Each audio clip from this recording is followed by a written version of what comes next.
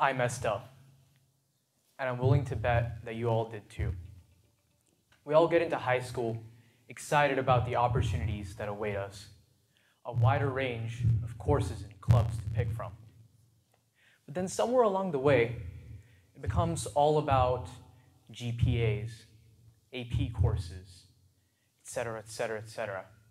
And yes, to a certain extent, those are all important, but not at the expense of something that's even more crucial discovery and building interest.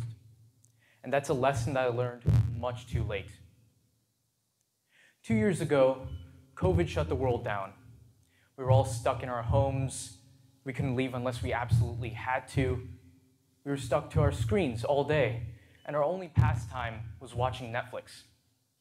So pretty much nothing changed for me personally, but but in all seriousness, during quarantine, I always felt like I didn't get to do everything that I wanted before.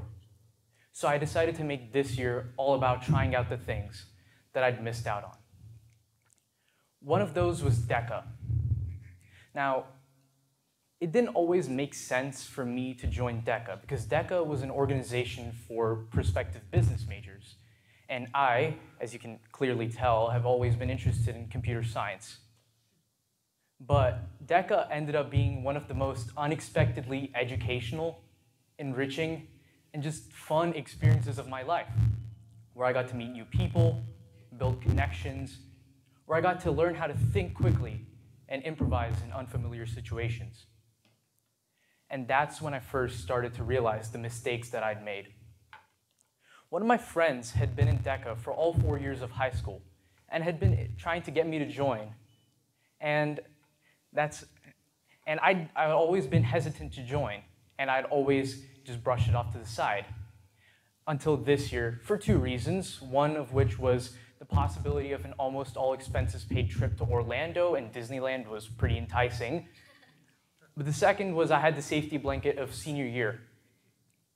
But when I walked on stage at the state competition as a state finalist, that's when I first started to have the thoughts did I just miss out on something huge?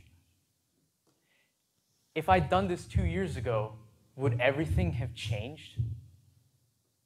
Because of my early intention for my career path, I'd not opened myself up to new experiences and a new path, one that I could have potentially taken. Now, DECA is a huge organization, but what about the smaller ones? What about the ones that you actively have to try to seek out and find yourself? One of my friends is involved in a new club, and it shocked me when I found out what they were working on. They're working on educational courses for children in Ethiopia. The name of the club is Coppell Rotary Interact. I want to ask you, how many of you have heard of this club? Raise your hands. Of those people, how many of you have heard about that project that they're working on? My friend said he thinks about 3 ish percent of the school know about it. And I think that pretty much tracks over here, seeing how many of you raised your hands. Which I find, for the lack of a better word, insane. Because it's a project that is truly changing the world for the better.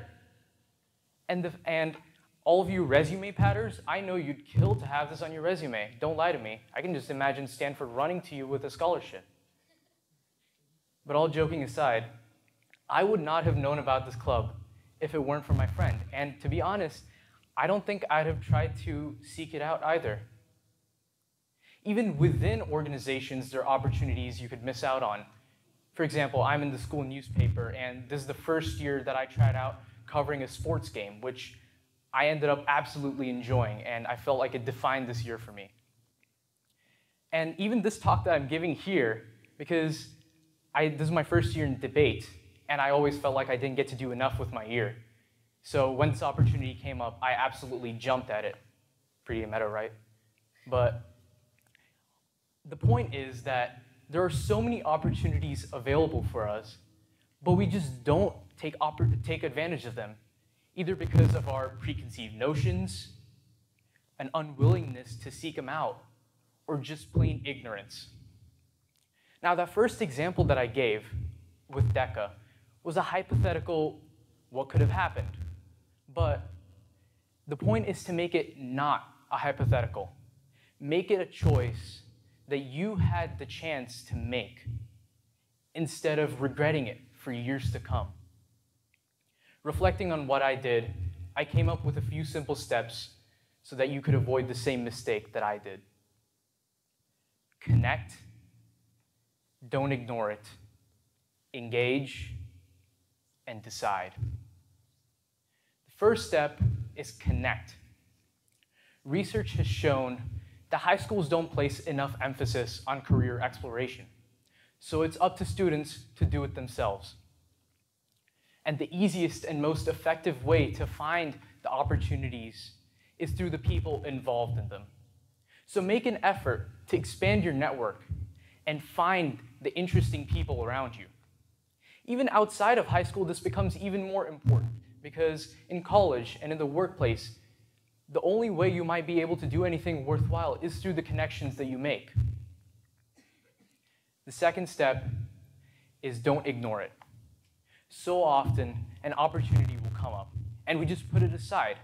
For maybe we'll do it later, or maybe we just don't think it's for us. And that's the biggest leap that you have to take. Don't ignore it. Give it a shot. Talk to the people involved in it about it do the research. But there is a step two and a half to that, though. Open your mind. So often, when these opportunities come across us, we think that it's not for us. And maybe it's not.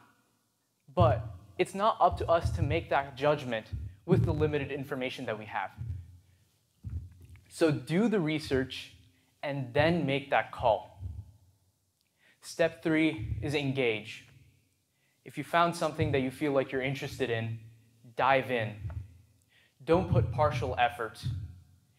Now, I know that is a generally a tough ask considering the busy lives of high schoolers and people, but try to get the most out of it as much as you can. And finally, decide. Now that you have the experience and the knowledge, you can now make the decision if you want to continue it or not. decision that you continue it or not. Now, maybe it's changed your whole career outlook, and maybe it's not. But now you truly know, and you don't have to wonder, because you can solidify your decision to build the future that you now truly know that you want. You all know the quote, ignorance is bliss.